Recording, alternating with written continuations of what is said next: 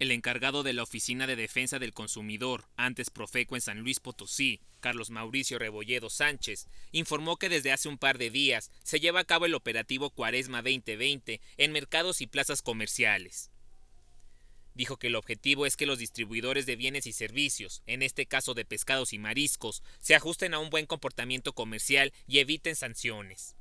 Como cada año, la Profeco inicia eh, dos operativos en esta temporada. El primero, que es el Cuaresma 2020, que ya está aplicándose desde el martes 25, donde eh, se tienen ciertas acciones y actividades que hacer, y el de, obviamente, pues el de Semana Santa, que ese es prácticamente para revisar lo que es Semana Santa.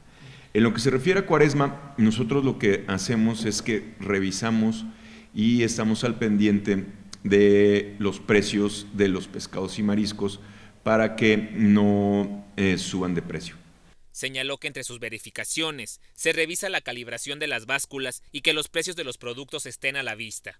Los instrumentos de calibración, las básculas, estén bien calibradas y que den los kilos de kilo o los gramos que sean los gramos que está requiriendo el consumidor para que no se eh, vayan a dar eh, kilos de menos. El funcionario mencionó que la ODECO cuenta con seis verificadores de confianza en San Luis Potosí, que visitan los establecimientos de los mercados que están en la ciudad, como lo son el San Luis 400, el Hidalgo, la Merced o el Mercado República. Aclaró que hasta el momento no se cuenta con alguna queja relacionada a esta situación, pero instó a los ciudadanos a denunciar si se presentan con una. Eh, si algún consumidor eh, tiene alguna denuncia, pues lo, puede hacer a los teléfonos de aquí de la delegación, que es el 444-841-2500 y hasta la extensión, hasta la terminación 10. Y esto, no hay ni quejas ni denuncias por el momento, pero sí eh, una de las funciones de la, de la Profeco es motivar a los consumidores a que presenten esas denuncias eh, si ven algunos excesos.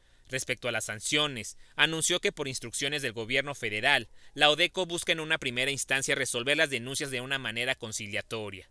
Nosotros ahorita estamos eh, cambiando ese, ese esquema para que creemos que los proveedores también al ver, al haber competencia, también ellos saben que tienen que otorgar buen servicio y buenos productos en ese sentido. Entonces, si hemos mm, bajado el tema de denuncias, no es que no haya, sino que ha bajado, porque los proveedores sí están cumpliendo en, en, ese sentido. Rebolledo Sánchez explicó que las multas para aquellos comerciantes que reincidan en modificar sus precios dependen de la capacidad de cada empresa, aunque aseveró que el mínimo es de mil pesos.